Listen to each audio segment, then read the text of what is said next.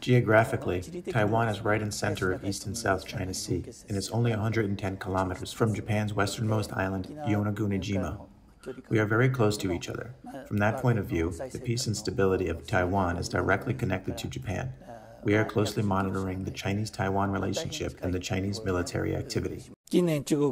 As China strengthens military forces in recent years, China's military balance with Taiwan is tipping heavily to the Chinese side, and gap has been widened by year by year. We expect security issues around Taiwan to be resolved through peaceful dialogues among the nations involved. That has been Japan's consistent position.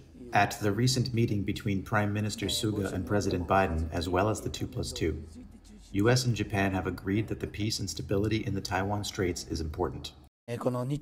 Japan, the US, Australia, and India, known as the Quad, are free and share values and are responsible partners in the region.